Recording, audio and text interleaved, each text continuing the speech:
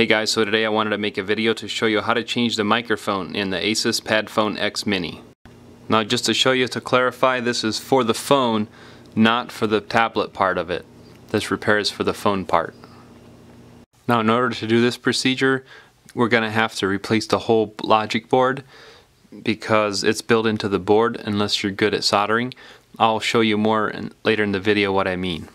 So first of all, before we get started, you want to make sure that your device is powered off. And then to remove the back cover part, there's a little notch right here. You can put your thumb right in this notch. And you can just pry up. And the back cover comes right off. To remove the battery, all you need to do is pry in this corner right here. This little notch right here and pry up. And the battery comes out just like that. Make sure that you remove any memory cards or SIM cards if you have them in as well. I'll include a link in the video description for any of these tools that I'll be using during this or any parts that I'm going to be using for this repair. I'll include links for them in the video description as well. So next you will need a Torx T5 screwdriver. That's what size this is, T5. And you'll need to remove these 10 screws all the way around. They're all the same size.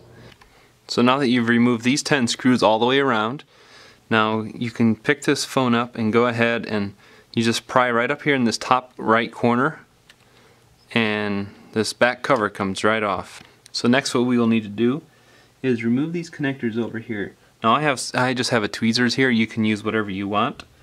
And you'll need to peel up under this part and slide this straight out like this and then you can tip it up.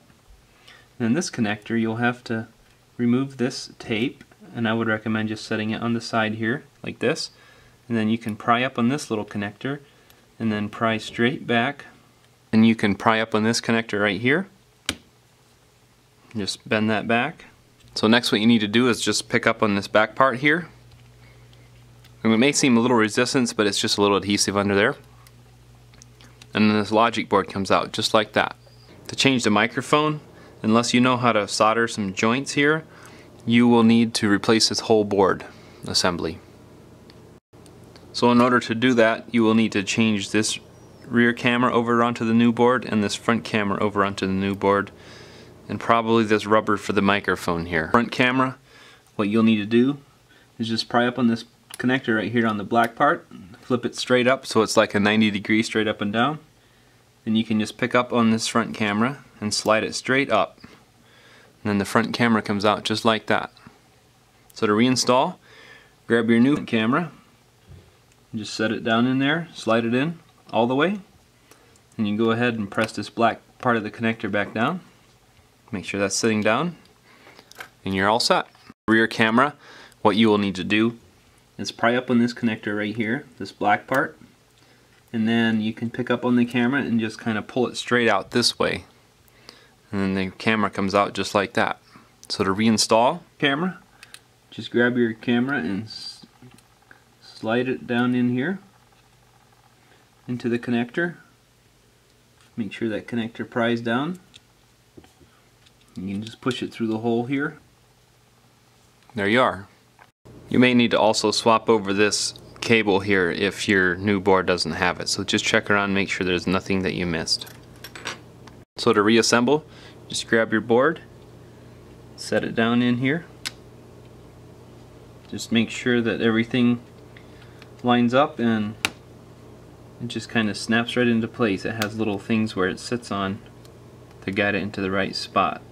Make sure that your rear camera is sitting right and then you're ready to start reconnecting the connectors. So next you want to go ahead and reconnect this connector you can just push it down till it snaps in firmly. And then this middle one is a little tricky, it's a little stiff. You have to kind of pull it back and get it started in there. Make sure it pushes all the way into that white line. Then you can go ahead and push down this white part of the connector so it's straight down. And then we'll need to do the same with this connector. This one has a little bit more more flex to it make sure that that gets in there right just push it in all the way and then push down on this black part of the connector right there and then go ahead and peel this yellow tape back up that you had and put it right over top of this connector again Just make sure it's pressed down nice. Next what you'll need to do is grab your back cover. Just set it on like this. And just make sure that it's sitting down nicely all the way around. And then go ahead and put your 10 screws in all the way around. To reinstall your battery, just grab your battery. You can see where the contact points are on the battery and where the connector is on this one. So you just slide it in there and push down and you're good to go. Have any memory card or SIM card, you'll want to reinstall them before you put the back cover back on.